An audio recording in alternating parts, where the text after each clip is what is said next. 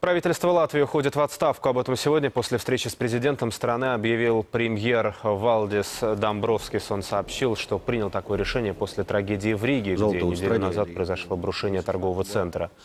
Под руинами здания погибли 54 человека, около 40 получили ранения. Глава кабинета поблагодарил жителей Латвии за поддержку в период своей работы на посту, в том числе во время преодоления последствий экономического кризиса. Теперь, отметил он, стране нужно новое правительство.